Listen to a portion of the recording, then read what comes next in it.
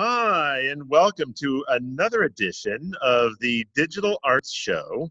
I'm Jim Sirianni, your host. Thank you so much for joining us today. This show is part of the Digital Arts Festival that is produced by Center Stage Theater of Santa Barbara, California. The Digital Arts Festival shows stream nightly at 7 p.m. And you can find out more on the Center Stage website, centerstagetheater.org.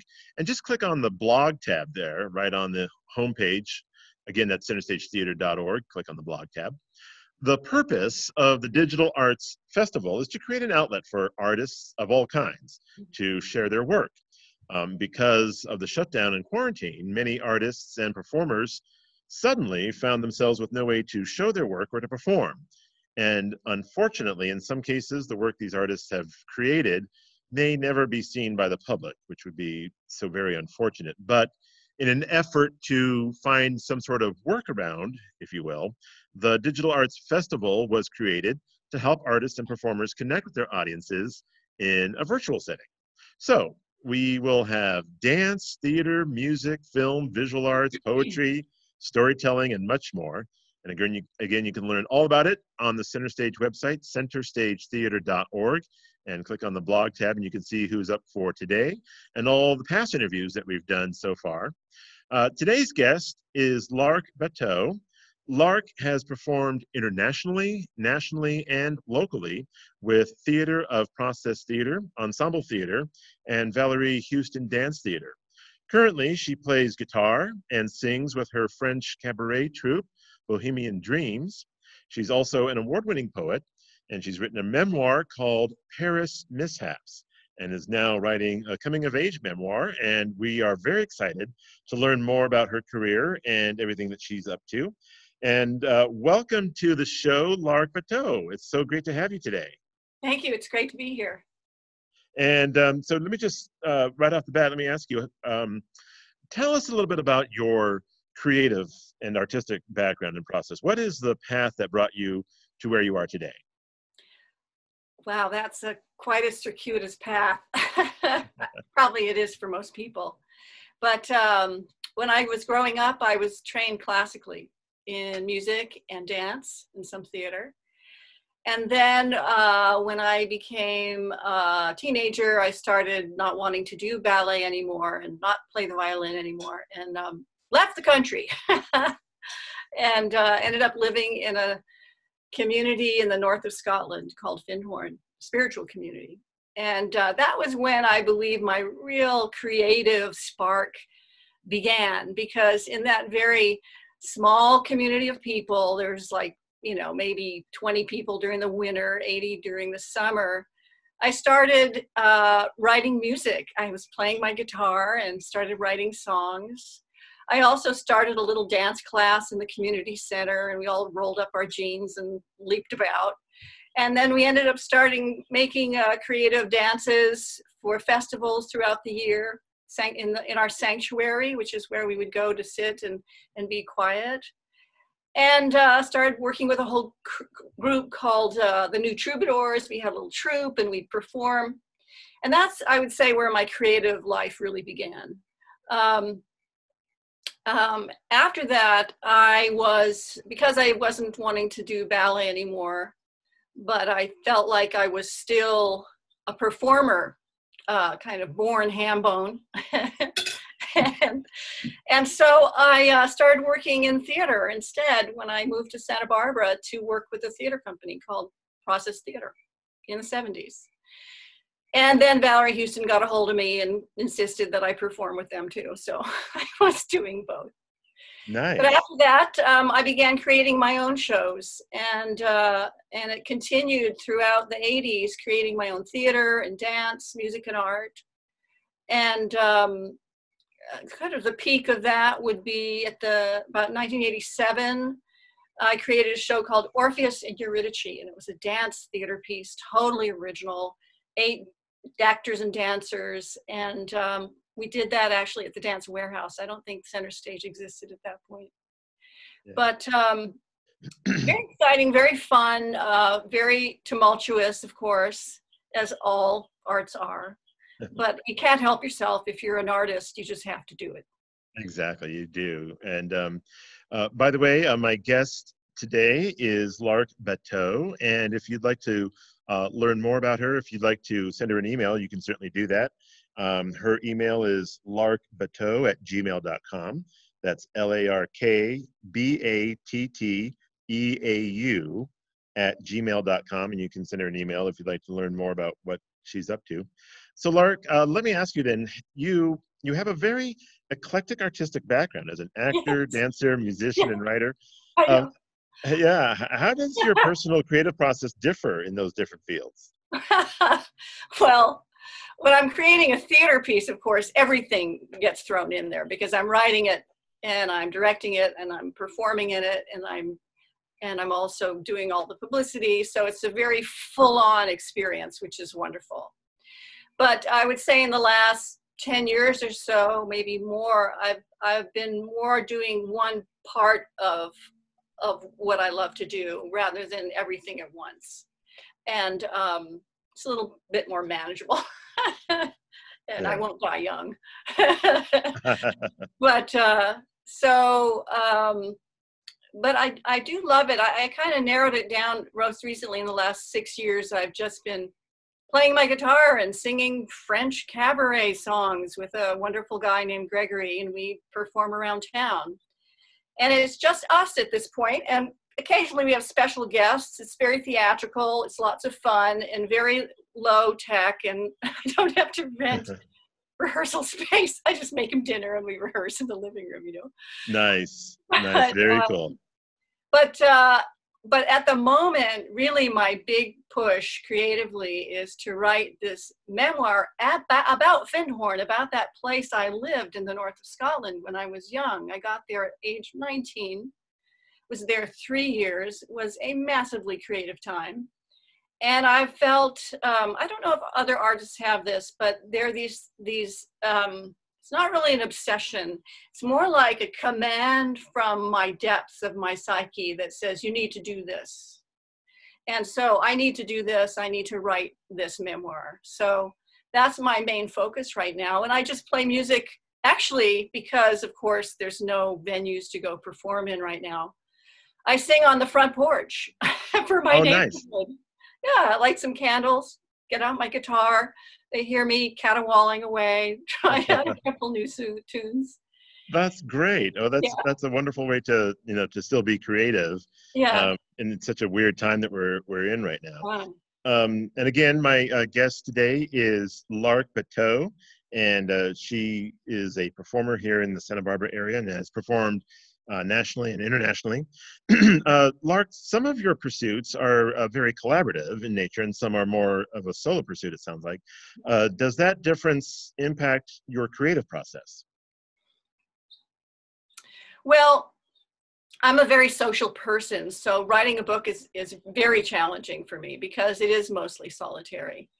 So I have um, a friend of mine who actually used to be my boss. I wrote dance reviews for The Independent for a few years, and uh, his name's DJ Palladino. So we meet once a week, and he reads my chapters, and we talk about we talk shop, you know. Uh-huh.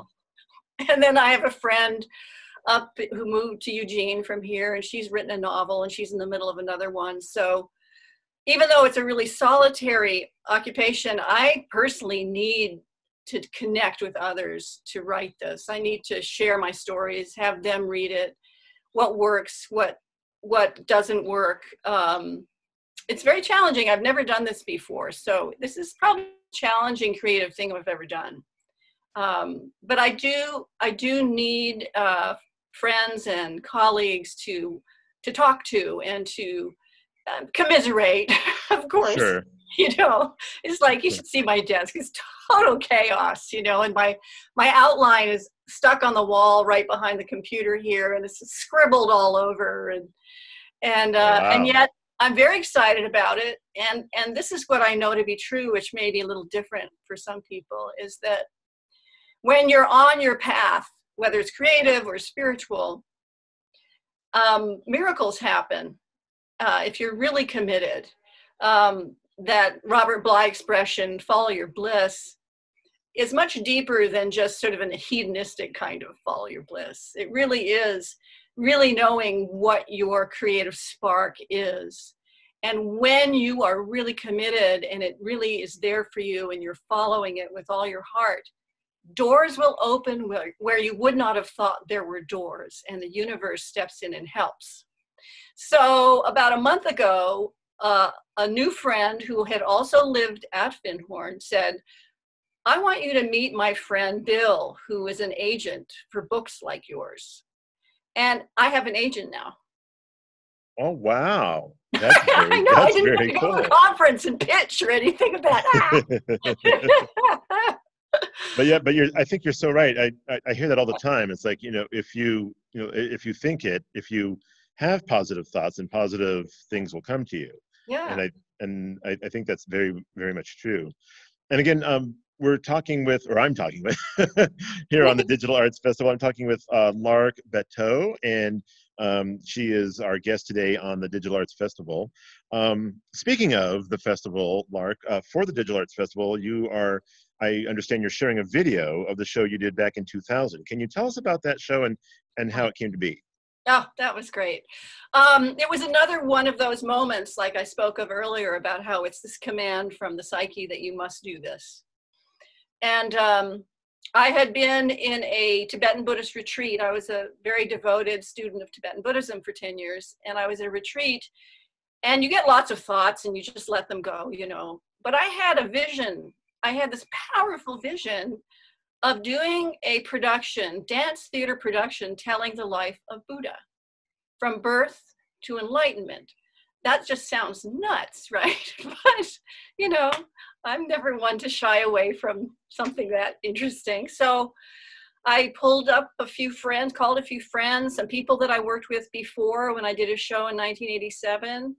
And a lot of them came back and would work with me, and we started working the story and it became Shakyamuni, the life of Buddha, and um, a cast of seven, and we played multiple roles. I get to be the mother that gives birth and dies.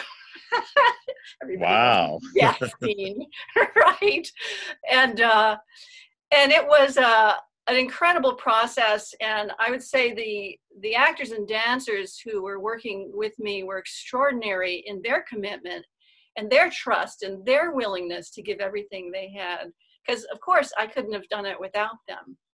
Um, but I did discover that they liked that I was where the buck stopped. It was like they liked that I was in charge, and um, so they gave me permission to be in charge, and I let them know I couldn't do it without them. So that's really what a collaboration is Yes. and I loved I loved that. It was amazing. And and of course everybody brings their particular style to the creation, their particular point of view to the creation, their particular so they have kind everybody has a unique energy, you know. And if you can you know what that is and you can place those actors and dancers in certain roles where that will really shine, right? right. Wow, amazing. Yeah, that has to be very amazing. Wow, that's very cool. Yeah. Um, so uh, tell me then, in this, um, you know, with the pandemic, how have you been impacted by the stay-at-home order in terms of your creativity and artistic process? well, writing a book is perfect, right? Right. Yeah. If you, yeah, if you have to be at home, and you might as well write a book. yes, exactly. Uh, my income, though, you know, um, to make a, I make a living as a holistic health practitioner. So I'm unable to teach yoga and give massages and work with private clients. So um, that really impacted me that way. But creatively, I don't think it's limited me at all. In fact, I find that when there are constraints, I'm usually more creative. Um, I think a lot of people don't always know that. They think that to be creative, you have to have everything and be able to do anything you want and always and everywhere and anything. And I find that when I'm really constrained, wow, it just it takes all that energy and it's like a laser point. It just brings it in and it gives it so much power. Um, for example, I taught circus camp for for five years. Oh wow, Favorite job ever. that must have been a a lot lot of of fun. a lot of the boys, the little boys, they were like eight to twelve, were pretty ADD, you know. Oh wow. And man, I fell in love with them because they have such creativity. They're all over the place. But if you can corral them, if you can give them a purpose to focus that energy, that wild energy they have, they are spectacular on stage. And so they get to really have a positive experience of who they are. And, um, you know, I just love that. So Nice. my theory. That's I really think cool. I was probably ADD, probably am a little still now. you think? I think all of us were who those of us who've done theater or you know dance or any kind of Yeah. you know performing arts of any kind. I think there po- may have been a little dash of ADD, if you will, Just a dash. just a dash here and there, or more. I know. Hence the book is practiced. Right, right. Yeah. And again, um, my guest today is Lark Batteau. And if you'd like to uh, find out more about what she does, you can certainly email her. And her email is larkbatteau at gmail.com. That's L A R K B A T T E A U at gmail.com. And you can certainly send her an email to uh, ask her about what she's up to and uh, what she has going on. So, uh, Lark, how do you think this crisis and experience will impact your creative process going forward once we come out of the quarantine? Well, um, before the quarantine happened, I actually had planned to do some readings from the book. Uh-huh. And um, I have already done some. I did uh, reading last year, and um, this last summer I actually went to Findhorn in Scotland and did a reading there. And um, as I said, I was doing music a lot at Findhorn, and, and so a lot of the songs that I wrote and co-wrote at that time are really sort of beloved songs of the community. So so what I did was I would read a chapter and then I'd sing a song with my guitar. And then I'd read a chapter and sing a song from Findhorn with my guitar, Findhorn songs. And it was really fun and I loved it. And because I'm a performer, okay, it's just, you know, I just get bigger and louder and more fun. And I was I'm really looking forward to doing more of that. I want to hold readings and I'm looking forward to traveling with it. Nice, nice, Yeah. very good. Yeah. And uh, you know, I wish we could talk more about your work and everything you've done, but unfortunately, we're just about out of time. Wow. Uh, but by. before before we go, I just want to uh, let everybody know one more time that um, if they want to email Lark, you can email her at larkbatteau at gmail.com. That's L A L A R K B A T T E A U at gmail.com. And to find out more about what she's up to. And if you'd like to learn more about Center Stage Theater, you can certainly do so at their website, centerstagetheater.org. And on the homepage there at centerstagetheater.org, you can click on the blog tab, and that'll take you to the Digital Arts Festival blog page. And you can learn all about the artists that we've been featuring uh, throughout this entire time. And again, that's centerstagetheater.org, and just click on the blog tab and uh, to learn more about the Digital Arts Festival. And if you want to know what I'm up to, you can find me all over the place on social media at Jim on the Air on Facebook and Jim on the Air on Instagram as well. And Lark, I just want to thank you so much for joining us today and taking time out of your day to be with us and continued success with your career. Well, thank you so much, Jim. It's been a pleasure. It's, it, it, and it has been a pleasure for me as well. Thank you for, for being with us. Yeah. And thank you to everybody for watching at home. And we'll see you next time. See you next Bye time. for now. Ciao. Bye.